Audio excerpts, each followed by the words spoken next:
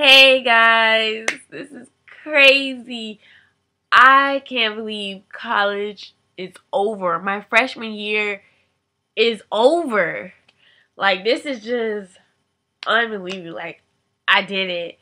My GPA is great. I did good my first semester. I did even better my second semester. It is just all great. You have to excuse my voice because I'm kind of like, pollen is kind of irritating me right now. But I'm so glad it's over though because I need a break from work. I'm just going to enjoy the summer. I might get a job and everything, but this semester was great. I found a great group of friends the second semester. First semester, I was kind of like here and there, just hanging out and stuff. But this semester, I found a great group of friends and it was just great. And I did some, one of you guys asked my most embarrassing moment. My most embarrassing moment in college was when I overheated pancakes in a microwave and I went to the bathroom. And when I came out, because like I put it on like 30 minutes and they were like pancakes and I put on 30 minutes on accident. I thought I clicked three minutes. so when I came out the bathroom, it was like smoke everywhere. The detector went off, the fire alarm went off. To believe the police came and everything had to turn it off. It was so embarrassing because everybody was like, "Who set off the alarm?" But yeah, that was my most embarrassing moment. So enough of that. I decided to do like a little special for you guys, answering the last questions that I have because I know I didn't answer all of them. So I did a little special with me and my friends. So here it is. I hope you guys enjoy it and good luck to you guys that's going into college. I have guest stars so you can hear other people's opinions about different stuff. I'm Narissa. I'm Lauren. I'm Lydia. The first question is, how was it meeting your roommate and how was that experience? Well, for me, it was normal because I like people, so meeting my new roommate, it was wasn't nothing to me. I was excited and she was excited because we were alike, but my experience, we get along, I love her, and yeah. I don't really like my roommate now because, well, I don't really like people, even though I have two brothers and two sisters, but meeting new people is not really for me because I'm not a people person. And my roommate, how we got along, we don't really get along still. So it's like she has her space and I have mine. How did you guys deal with like meeting new people, coming in, not knowing anybody, just meeting new friends? Were you nervous? How'd you feel about it? I'm person. I'm a very friendly person, so it's not hard for me to make friends at all. And a way to make new friends if you don't know anyone is social networking. I met Ashley through Twitter. Yeah. and for me, I was really nervous coming to college. I was like, like the first day I moved in, I was crying because I was like, I was like, I'm not gonna have any friends. I'm not gonna know anybody. But now I have a great set of friends. So you'll find friends. You shouldn't be nervous about it. How do you focus on your schoolwork? Because there's a lot of stuff going on in college. You have all these events and parties. So how do you stay focused on your schoolwork? Well, it's really just time management, staying focused. It's really hard because it's a lot of work. You got to figure out when to do what, and it's like, oh my gosh, am I going to get through all this? Because everything is like piled up, and sometimes things are due at the same time. So it's really time management. They give you all this free time, but it's like up to you. You still want to do your work or not, and you just gotta you gotta manage your social and your schoolwork, everything. Just gotta work. So you're a freshman in college, and there's all these boys around. How do you do it? How do you deal with dating?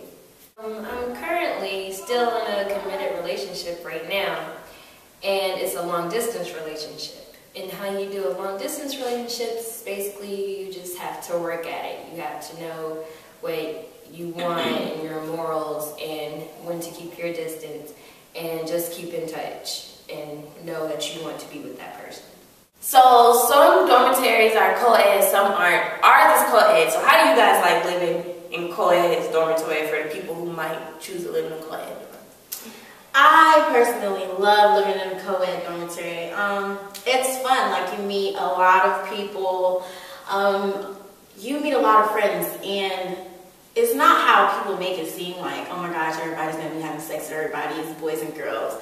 Because some people just talk to one person, or even if there are people having sex with everybody, it's just the fun part, like you meet everybody and you guys hang around because you're together in the same dormitory. Um, co-ed dorms are just really fun. Like you just meet everybody. Like they said, it's just really fun. And like late nights, everybody like nobody sleeps, so it's like everybody's just up in the lobby, just having fun. So that's the main reason I like it because it's fun. Yeah, and our dorms are like freshman dorms. Just freshmen are in here, so like we're all just freshmen. It's just all right. It's our first year of college. Everybody's just the we same. all have the same experience. How is it like being on your own? Like for the first time, leaving home, were you homesick? How'd you deal with it? Being on your own. Well, I used to go home every single weekend because I only live like 45 minutes away. But being here, it was very diff- a really different experience, and I like being here more than I like being at home because my parents do the most. So it ranges. I mean, I'm very happy being here and being on my own. I was the most excited to get home because like I came from a strict home, like it was just so many rules. But here, like I get to just do whatever I want without my parents just being down my back. So how was it separating from your set friends at home? Like for the people you grew up with all the way to high school, now you're not with them. How is it separating from them? Are they jealous? Do you still keep in touch? My best friend, she know I'm not gonna replace her. I mean, even though we're separated, she gets jealous. She knows she comes first. So, yeah, they are still my friends back at home. Nothing changes. And for me, I'm, it's all about like if they're your friends, you're gonna keep in touch with them. Like if you want them to still be in your life, you'll still keep in touch. So it's not that hard. It's just that to make sure you communicate and everything. Yes, they might get a little bit jealous because you're all on Instagram and Twitter with your new friends and stuff. But at the end of the day, they're still gonna be there. Just let them know. When you go home, you'll see them in the summer. You'll see them. So. How was it on first day trying to find your classes and being that new girl on campus?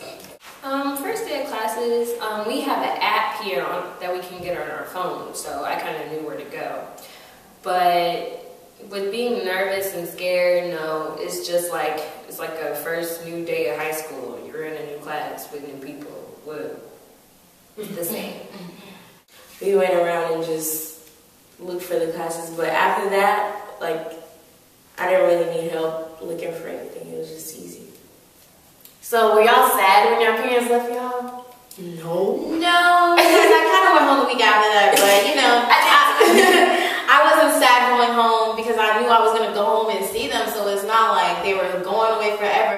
How do you guys feel this is different from high school? College? How's college different from high school?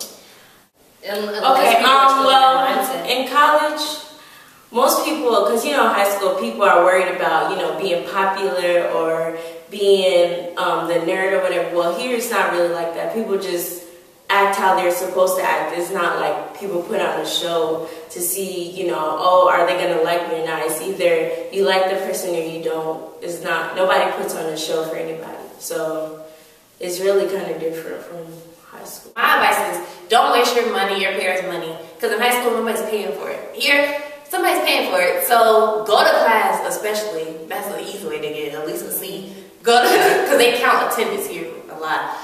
Um, so it's probably that other university. So go to class, manage your time well. You can still have a lot of fun, but do your work at the same time. Don't get disfocused and don't be nervous on finding new friends. Just let it flow.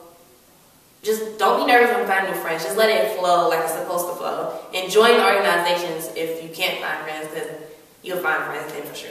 So yeah, that's it. I think we all had a pretty good freshman year of spirits. Mm-hmm. So good luck to all of you, and see you next time.